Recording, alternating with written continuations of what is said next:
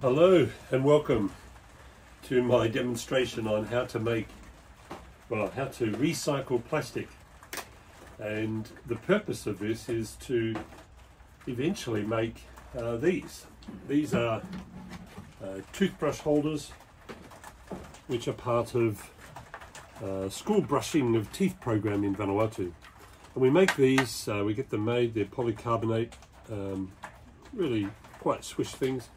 But the thought occurred to me that eventually we could recycle the toothbrushes and make these.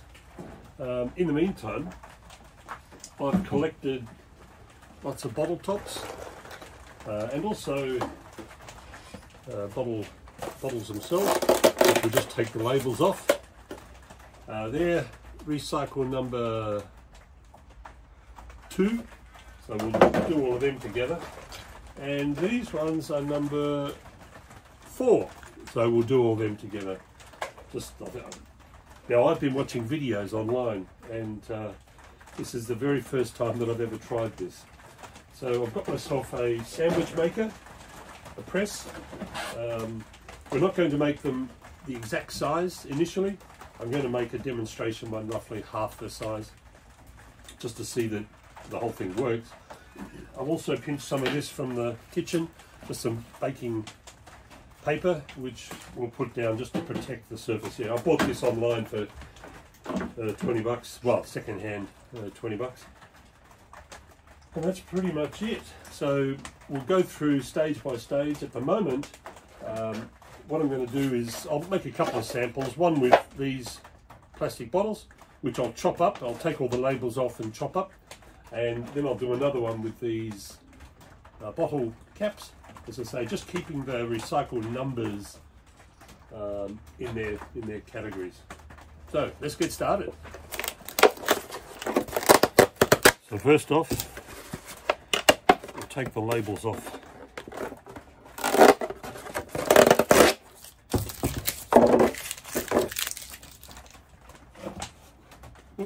That one's already off. Okay, I've got a stack of them now. And I'm just going to start chopping these up into smaller bits in readiness for melting.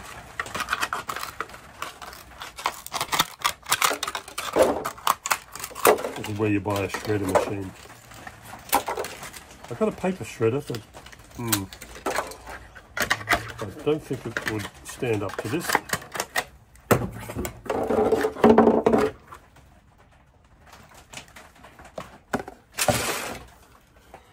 Now I've got down to the little bits now, so I thought I'd chop them up even smaller. I think I've done enough,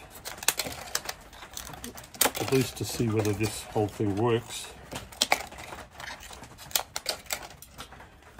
Should work. I've seen videos online and hey, I'm sure they're all very accurate, but there's nothing like doing it yourself. which what I'm doing today.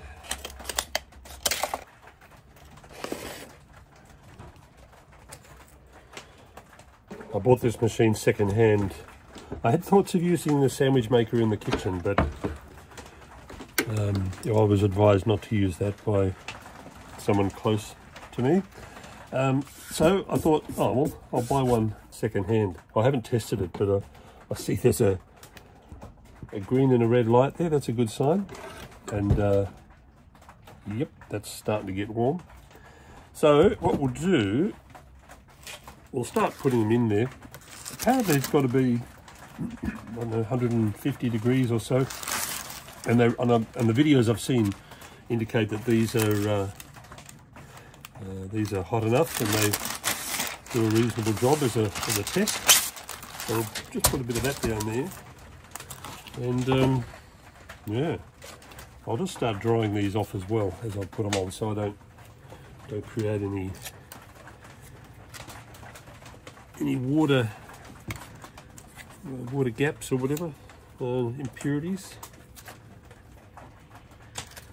I'll just start doing that and uh, yeah as that gets hotter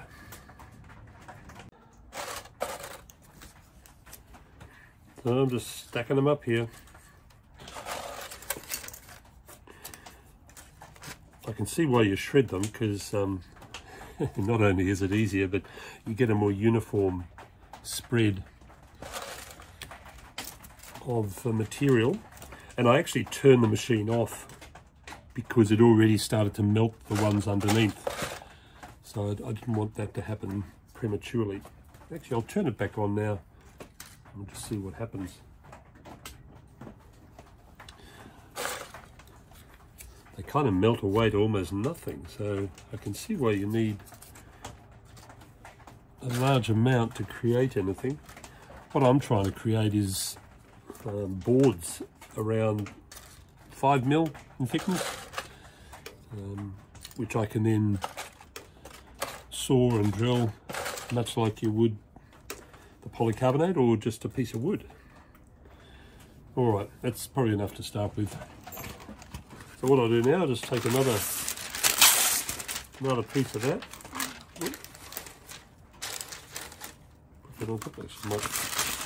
Another piece there.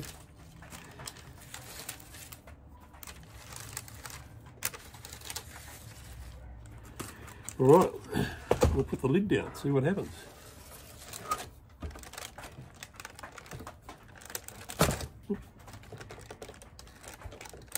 Hmm. Let's see. I'll uh, give that a few minutes. We'll come back to it. All right, well the green light's gone off. I've just got a red light now. Uh, let's have a sneak peek. It's been about three minutes.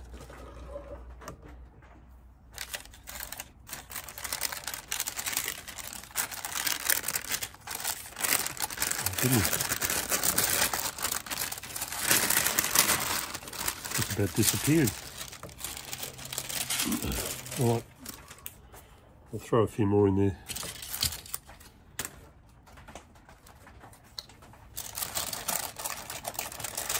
Oh.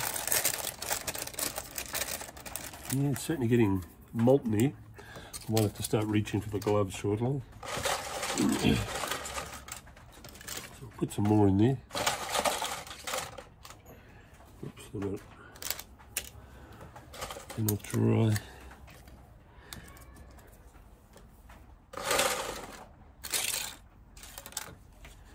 Oops, a little wood chip, don't want that.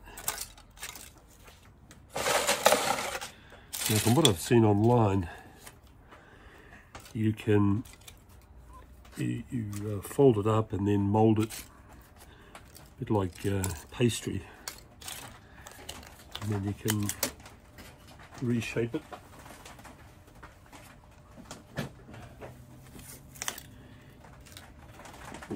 put the lid back down on that and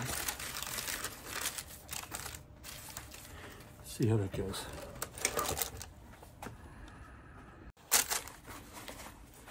Okay, it's about another three minutes and you can see I've got gloves. Even I can be caught. Oh, there we go.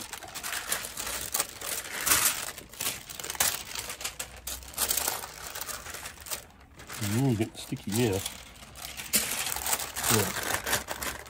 Yeah get that off there like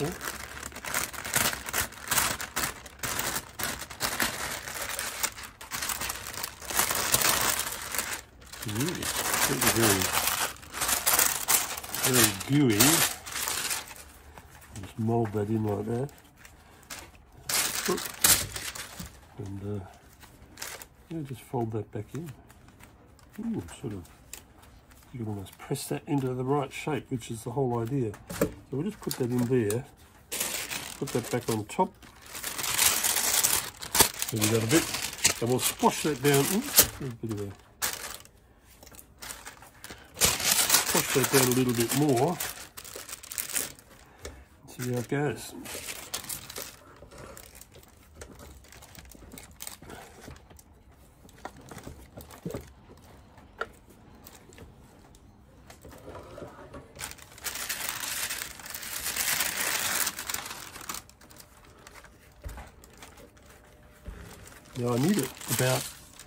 5 mil thick, which uh, that's probably about 10 mil. Which is just, whoop, yeah, it's sticky. Ooh, ah, ooh.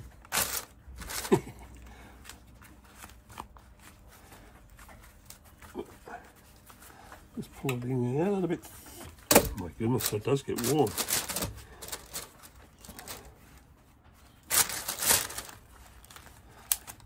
Pull it out a little bit more. And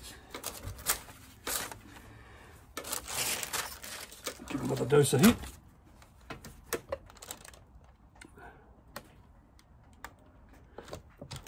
Now, when it cools, I say you've got to cool it under pressure. So I'm going to get some clamps and some bits of wood so that uh, as soon as I take it out when it's pretty molten like that, I can put it straight into the press and uh, it can cool while it's being squeezed.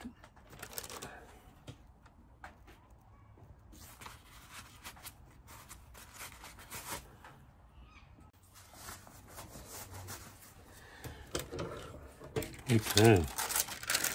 Ooh, looks pretty good. What I'm going to do now is put it over onto some wood.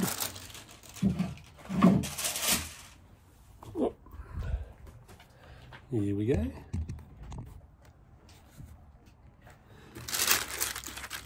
It's pretty sticky. We'll put it on there. And we'll shove some clamps on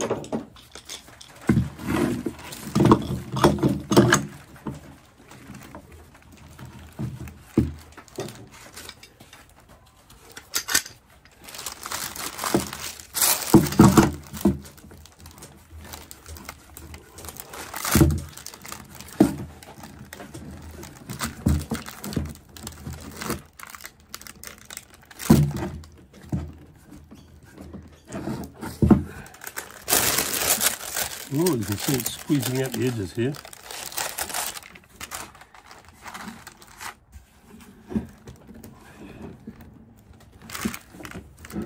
All right. Well, we'll come back and uh, check that out when it's cooled a bit.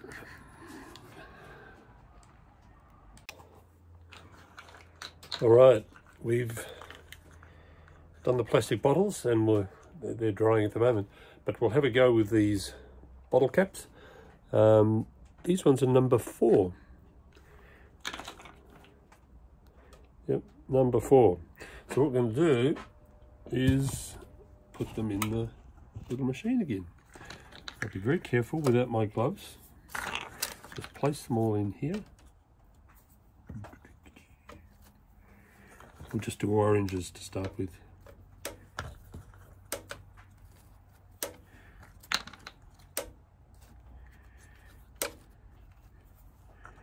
That's it.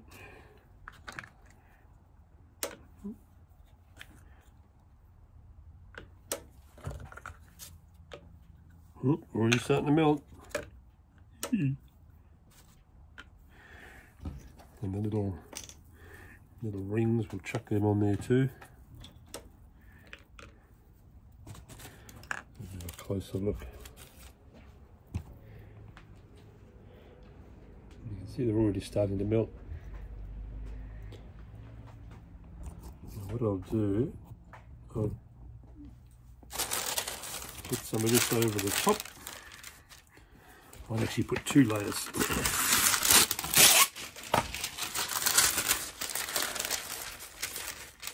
Close down the lid. Oop, I can already feel it starting to melt.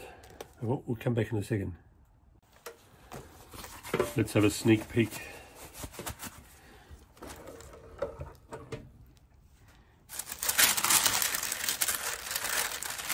Ooh. Oh goodness, it does look a bit gluey,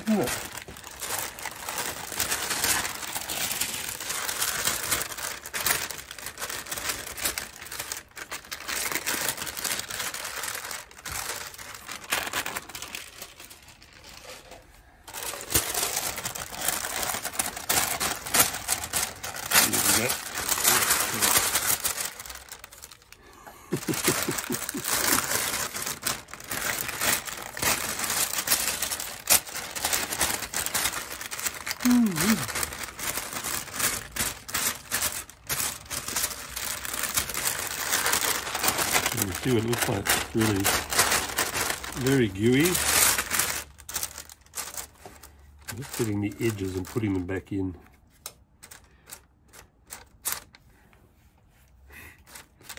What am I doing? Ah, it's very sticky.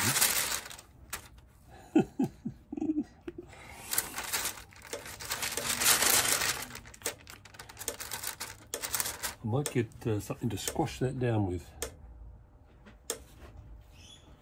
Gonna-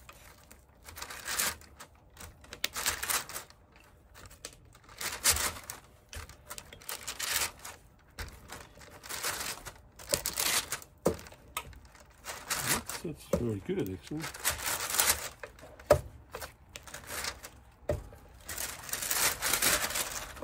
Mm.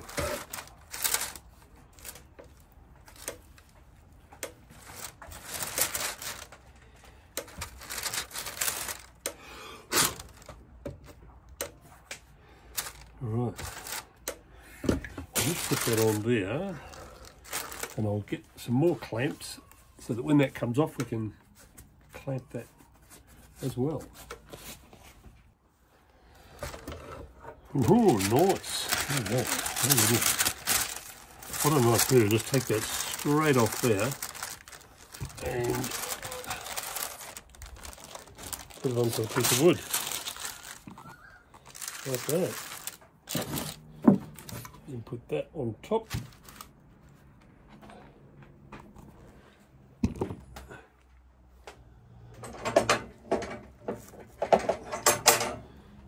Clamps. Another clamp.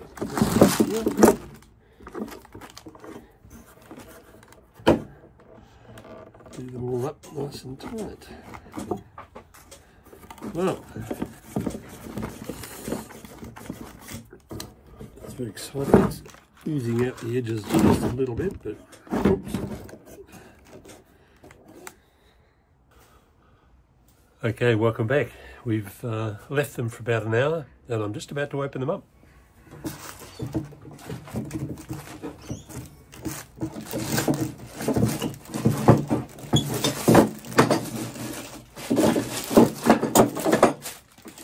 All right, look at that. Pretty good. I'll smooth that up, trim it and smooth it shortly. And now the other one, the orange.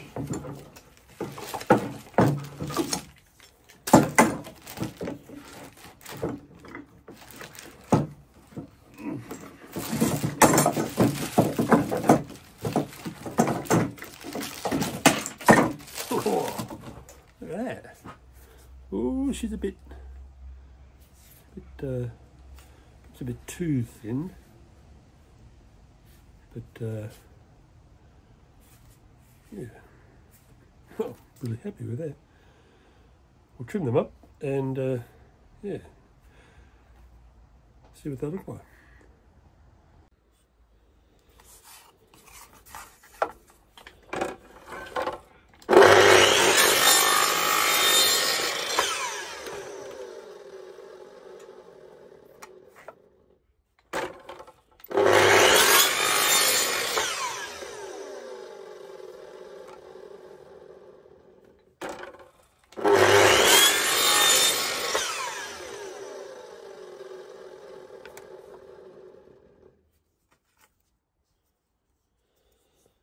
We can uh, keep those, recycle them next time.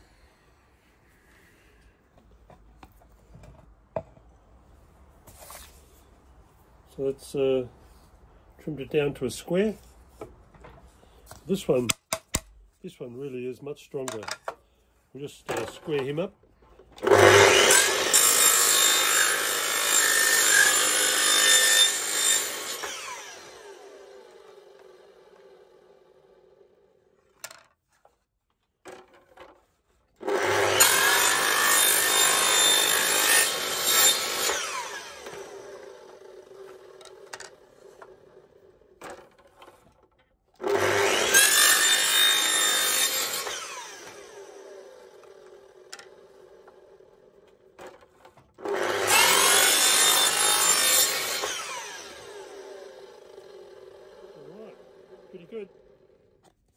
Run it through the thicknesser if we can. It Might be too thin, but we'll give it a go.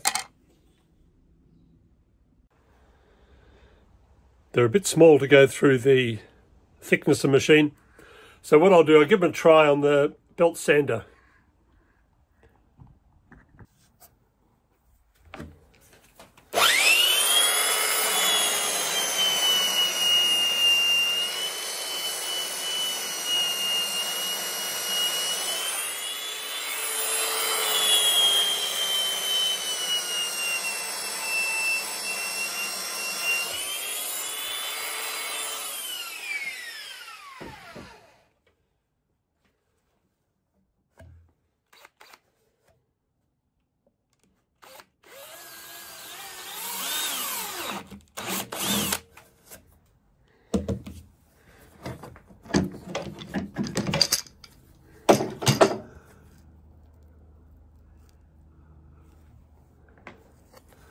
Pretty good. Just need to be slightly bigger. But uh, very smooth, no burrs. I'll just make a slightly bigger one.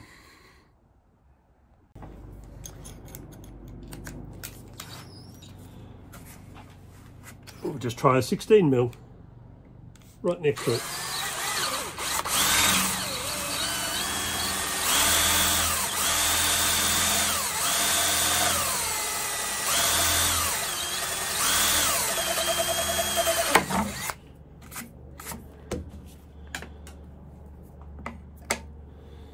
Good. And we'll just see if there's any burrs on the other side. Just a little bit. Oh, really happy with that. Now that